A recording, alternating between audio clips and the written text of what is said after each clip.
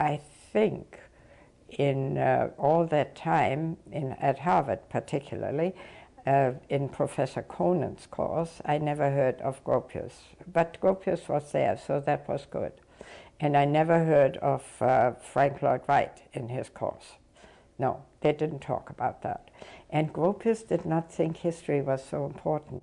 He uh, thought that we were better grounded in basic design and understanding collaboration rather than knowing all what had gone on in the past.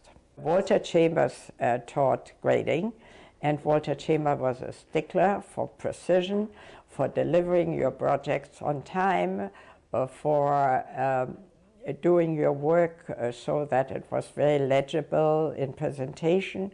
And he had very difficult projects at times, such as a cloverleaf. It's not an easy thing to grade. Uh, at first, we did just little roads, and then we had the runoff and uh, the ditches and whatnot. But when it became more complicated, it was a clover leaf. Well, I saw in the clover leaf immediately that there were possibilities for abstract design, namely mounds in the clover leaf uh, or hillocks or planting even. And uh, that needed a different analysis than just grading out a clover leaf with a 5% slope down on a 6% up or whatever. And he, uh, he liked this very much. And so he said, you, Miss Hahn, just go sculpt the earth. Yeah. arrived at Harvard, and he was my professor in my last semester.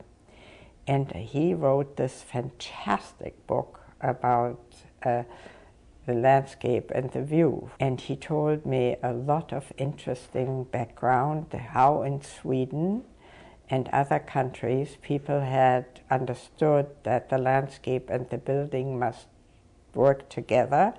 And then I saw, when I saw the house in Sussex with that long walk and the terrace, and then the trellis work where you look through to get the landscape beyond, then I caught on what this was all about. And Lester Collins uh, opened the mind to the small garden, Japanese garden.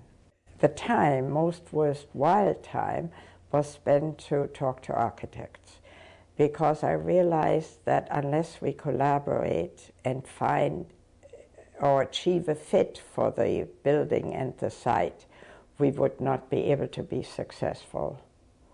And that really is why I've worked mostly with architects,